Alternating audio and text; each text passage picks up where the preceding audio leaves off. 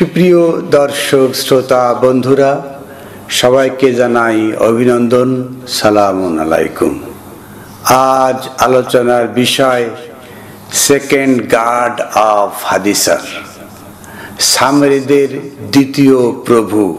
আলোচনার শুরুতেই আমরা দেখাবো সেকেন্ড গার্ড অফ হাদিসার, সামরিদের দ্বিতীয় প্রভু কীভাবে হলো আসুন, আমরা সামরিদের একটা ভিডিও ক্লিপ দেখি। সারা বিশ্বে ম্যাসাকার করে দিবে সে। হাতে জান্নাত জাহান্নাম নিয়ে ঘুরবে মানে উন্নতি এবং ধ্বংস। চল্লিশ দিন সে পুরো বিশ্বটাকে শাসন করবে। কতদিন? চল্লিশ দিন। কোত্থেকে আসবে? উত্তর তিনটা। কয়টা? তিনটা বর্ণনা পেয়েছি আমি। এর চেয়ে বেশি থাকতে পারে, আমার হয়তো জানা নাই। আমি তিনটা পেয়েছি। এক, খোরাসান থেকে সে বের হবে, এক নাম্বার। দুই নাম্বার, ইস্পাহান একটা জায়গা আছে ইরানের, সেখান থেকে বের হতে পারে। দুইটা। তিন নাম্বার হচ্ছে শাম, ইরাক। ইরাক এবং শাম। শাম বলা হয় প্যালেস্টাইন সহ পুরো যে Jordan, Libya, Lebanon, Jordan, Lebanon, Syria পুরো জায়গাটাকে শাম বলা হয়। কি বলা হয়? শাম। ইরাক এবং শামের মাঝখানের কোন এক রাস্তা থেকে সে বের। তিনটা বর্ণনা। সে কি করবে? সে পুরো বিশ্বটাকে শাসন করবে। সুপ্রিয় দর্শক, শ্রোতা আমরা তোহা বিন আদনানের একটা ভিডিও ক্লিপ দেখলাম। আসুন আরেক সামেরিটানের আরেকটা বক্তব্য শুনি। তাহলে এই যে ইমানের ফেতনায় সে ফেলে দেবে আমাদেরকে।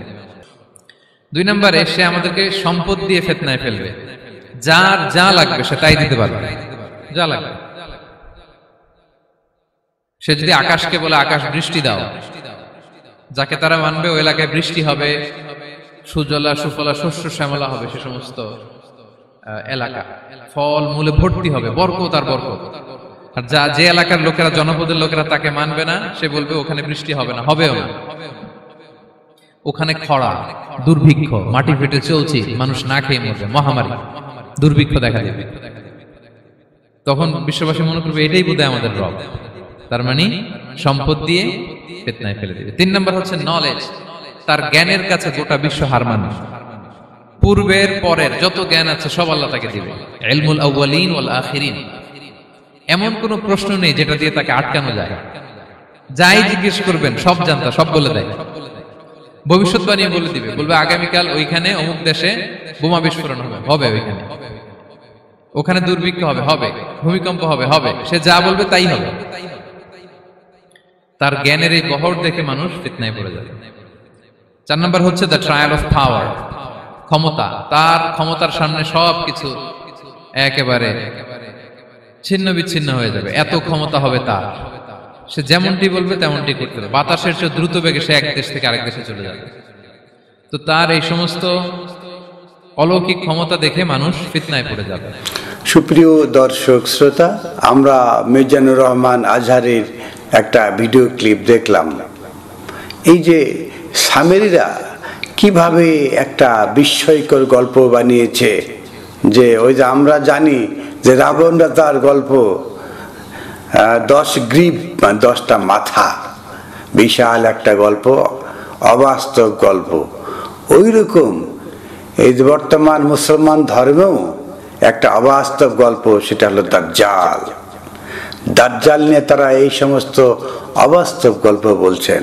মানে দাজ্জালকে তারা বানিয়েছে সেকেন্ড গার্ড আর সেকেন্ড গার্ড যে বানিয়েছেন মহাবিশ্বকর গ্রন্থ আল কোরআন এই সম্পর্কে কি বলে? আসুন আমরা দেখি।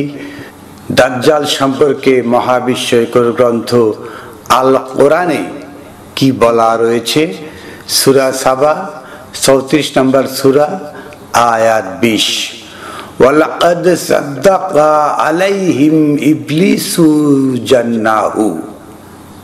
আর অবশ্যই ইবলিশের যেই কল্পনা ইবলিশের যেই কল্প কাহিনী সত্যে পরিণত করেছে তাদের উপরে। ফাত্তা বে এবং তারা সেটারই ইত্তেবা করে, ইল্লা ফারিকান মিনাল মুমিনিন। মোমেনদের কিছু অংশ ব্যতীত। এর অর্থ হলো যে ইবলিস যেই একটা জান্নাহু ধারণা করে একটা কাহিনী তৈরি করেছে এবং ওয়ালাকাদ সাদ্দাকা আলাইহিম তাদের উপরে সত্যে পরিণত করেছে। এরা সত্য হিসাবে বিশ্বাস করছে। কারা? সামেরি। সামেরিরা মিথ্যা মিথ্যা গল্প বানায় এবং মানুষকে দিন থেকে বিচ্ছিন্ন করে দেয়, দিয়ে অন্য একটা উপাসনা তৈরি করে দেয়, উপাসক বানিয়ে দেয়। তারা অবশ্যই সত্যায়নে পরিণত করবে। সকল মুসলমানরা বিশ্বাস করে যে দাজ্জাল আসবে, একদম সত্যায়নে পরিণত করেছে। ইবলিস ও জান্নাহু, ইবলিসের স্বপ্ন, ইবলিসের কল্প কাহিনী তারা সত্যে পরিণত করেছে দাজ্জাল। ইবলিসের যে কল্প কাহিনী এই যারা মুমিন নয়, যারা মুসলমান, তাদের উপরে সত্যে পরিণত করেছে দাজ্জাল। উল, আর আপনি বলুন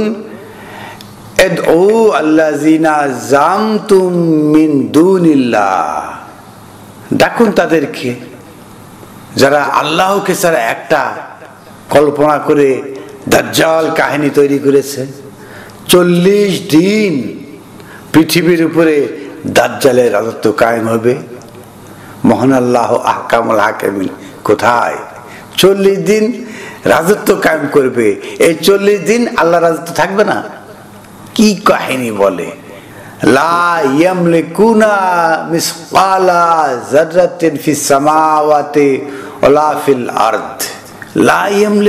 কোনো মালিকানা চলে না।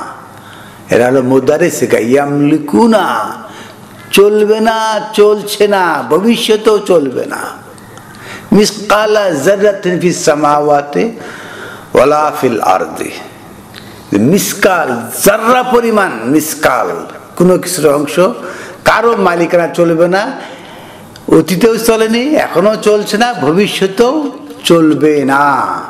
মহান আল্লাহ আহকামুল হাকিমিন, সুরা সাবা বাইশ নম্বর আয়াতে ডিক্লার দিলেন, এই সমস্ত সামেরি, বুখারি, এরা যে শয়তানি ধারণা কল্পনা বানিয়েছে, এরা বলছে, চল্লিশ দিন একদম সারা দুনিয়ায় রাজত্ব নিয়ে নেবে মাজ আল্লাহ মহান আল্লাহ আকামাল হাকিমিন, নিষ্ক্রিয় হয়ে যাবে। তারা বলছে যে তারা বাতাস প্রবাহিত করবে, ঝড় দিবে, বৃষ্টি দিবে, আগামীকালও বৃষ্টি দিবে, ফসল উৎপন্ন করবে। অন্য জায়গায় বলা আছে সূর্যকে সে হাত দিয়ে আটকে রাখবে? মাজ আল্লাহ কি দুঃসাহসের কথাবার্তা অমালাহুম ফি হিমা মিন শিরকিন। আর আকাশে এবং জমিনে কোনো শির্ক চলে না শির্ক চালায় না আল্লাহ। আল্লাহর হুকুমতে কোনো শিরিক নেবেন যে আল্লাহ দাজ্জালকে ক্ষমতা দিয়ে দিবেন মাজ আল্লাহ মিজানুররহমান আজহারি বলছেন যে দাজ্জালকে আল্লাহ ক্ষমতা দিয়ে দিবেন মাজ আল্লাহ ওয়ামা লাহুম ফি হিমা মিন শিরকিন। আল্লাহ কাউকে শরিক করে না, এই ক্ষমতাতে আল্লাহ কাউকে শরিকানা হিসেবে নেয় না। আর মিজানগর আজহারি বলছেন, আল্লাহ ক্ষমতা দিয়ে দিবেন। তহাবিন আদনান বলেন, আল্লাহ ক্ষমতা দিয়ে দিবেন দজ্জালকে। লাহুম ফিহিমা, আকাশে এবং জমিনে মিন শিরকের কোন শরিক আল্লাহ কাউকে দেন না। অমা লাহু মিন হুম মিন জাহির, এর মধ্যে কেউ নিজেকে বড় করে জাহির করতে পারে না।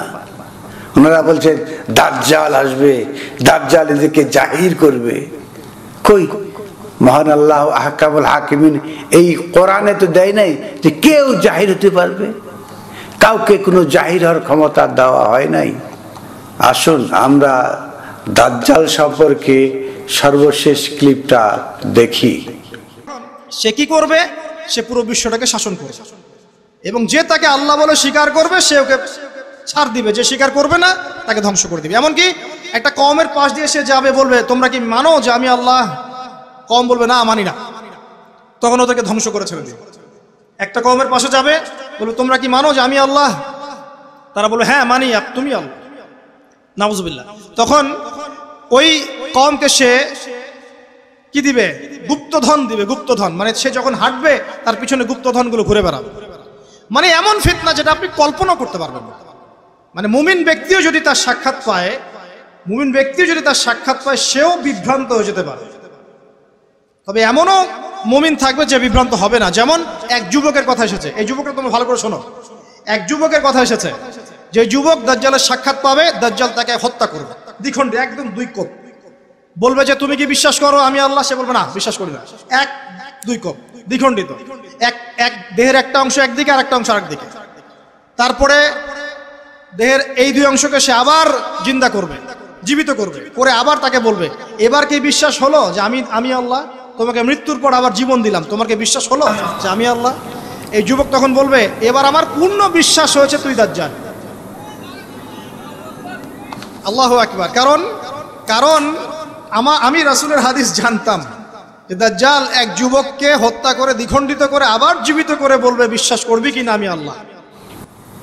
সুপ্রিয় দর্শক, শ্রোতা, আমরা দেখলাম আরেক সামেরিটান তহাবিন আদনান কীভাবে এই সমস্ত শয়তানের যে গল্প বলছে যে সমস্ত দুনিয়ার ক্ষমতা দাবজাল হাত চলে যাবে মাজ আল্লাহ আর দাবজাল একজন যুবককে হত্যা করবে মাজ আল্লাহ আবার জীবনও দিবে মাজ আল্লাহ কীভাবে এই ধরনের যে কথা বলে মানে বুক কাঁপে না? বুকের মধ্যে ইমান আছে কি না?